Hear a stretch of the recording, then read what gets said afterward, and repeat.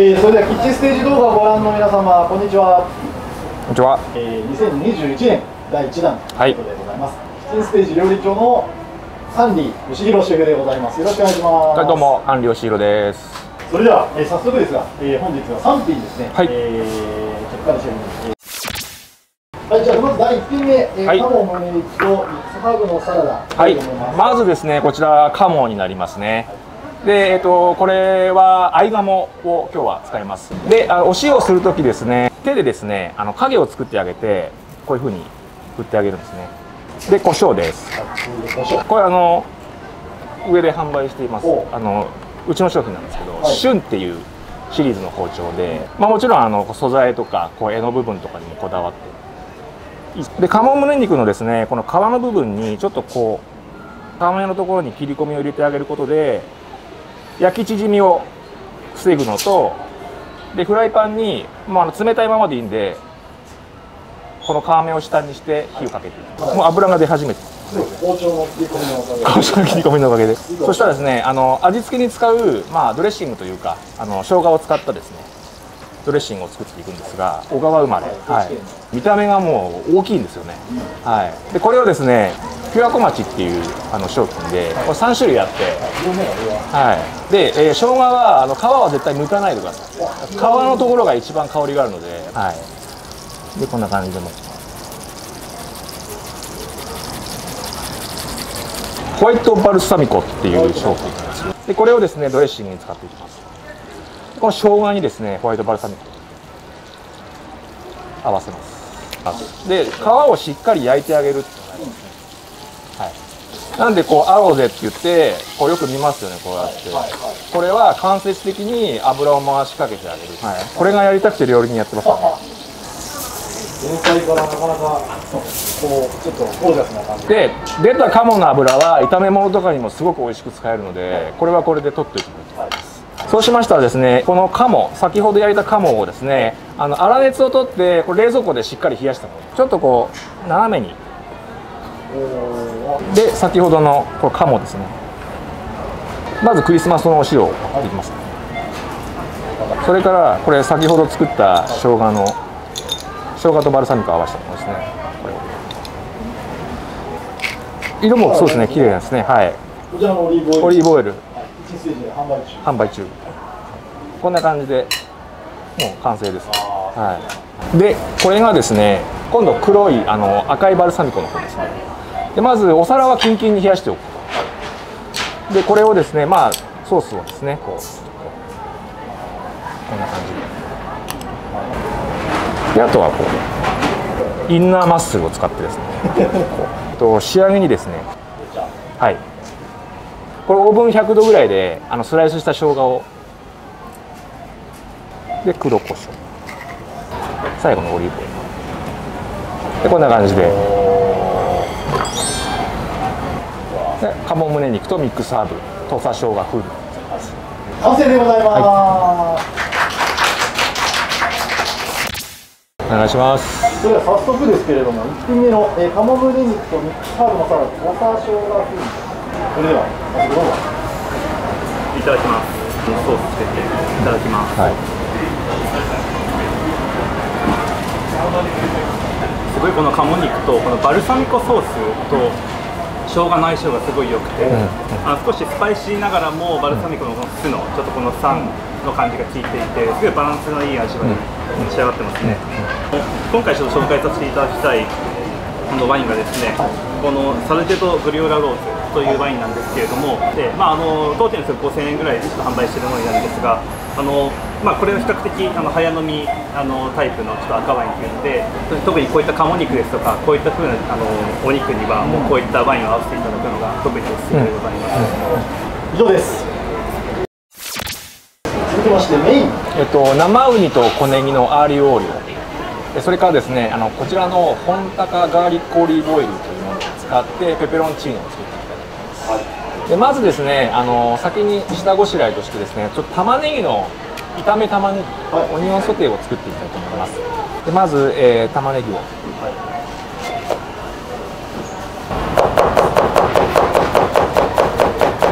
であの玉ねぎを炒めていきます。ね。オイルだけ入れてもらって、まあ、こちらの鍋もですね、あのー片手鍋といううちの商品なんですけどあこれフレンチの料理家があの監修された、えっと、おすすめ商品になりますで全体的にまず熱が回るまでは強火でいいので熱が回ったら蓋をしてごく弱火です。こちらがもうトロトロになったものですね。はいものなんですけどこれぐらいまでトロトロにしてそしたら、えーパスタの麺茹でていきます、はい。これ何グラムぐらい？これ70です。はい。でソースを作っていきますでまず冷たいフライパンにこれニンニクのみじん切りですね。はい。こう。まあアリオイルなんでたっぷりめに入れてあげてください。それからアンチョビです。はい。で火にかけていきます。オリーブオイル。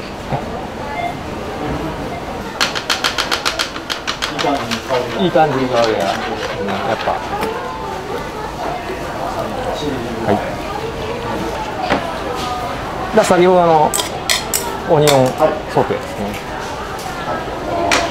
はい。これぐらい加えてそれから万能ネギです。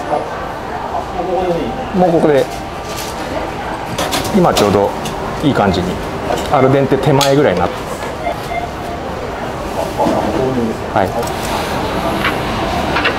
であとはここで。これお腹空い。てきますねちょっと茹で汁も茹で汁もでオリーブオイル。でパスタ盛るときはトングを縦に使ってください。手首を外側方向に巻いてあげてください。の方が可動域が広いんで生ウニです。たっぷりでウニの上に少し塩。香川県の本高唐辛子っていうこれもあの幻の唐辛子と言われてるなんでこの仕上げのところで少しかけて。ね。はい。では生海と小ネギのアーリオオリオ完成ですありがとうございます。はい、えー、それではですねいよいよメイン、えーになりますけれども。では上に絡まウニを絡ませて。はい。そうですね。いただきます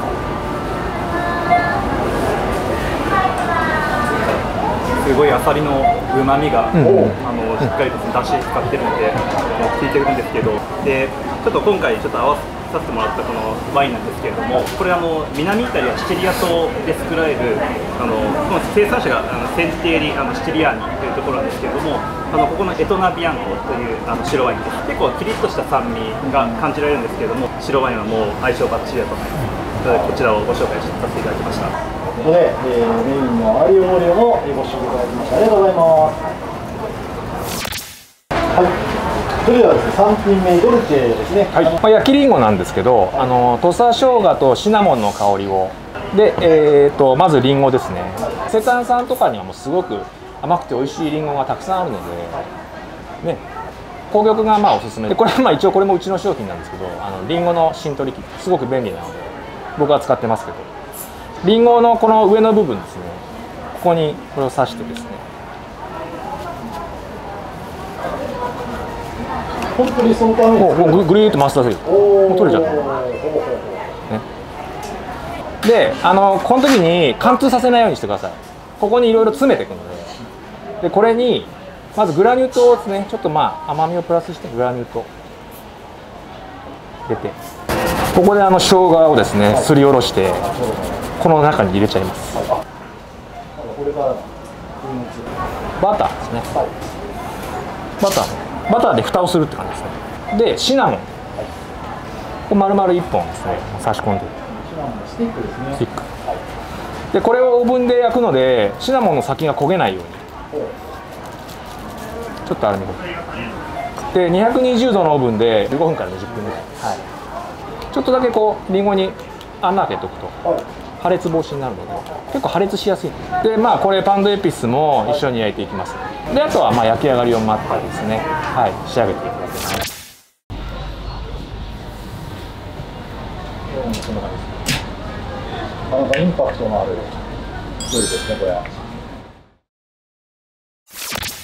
15ことでではペアリングを試して楽しみに。はい。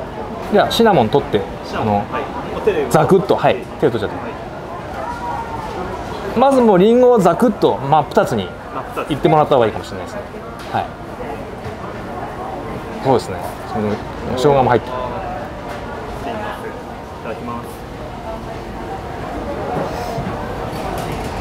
すごい生姜が効いててなんか冬に食べると体温まりそうですね、でちょっとこれに合わせようと思った時にもうすぐ私の中で頭の中に思いついたのがこのコニャック、レミーマルタン XO なんですけども、これが大体えー2万円ちょっとぐらいであの販売をしているんですけれどもあのこのコニャックとこれ合わせるともう絶対相性間違いないんだろうなっていうふうに思ってでちょっと今回紹介させていただいたんですけども。では3食目のドルチェも完食でございます。ありがとうございます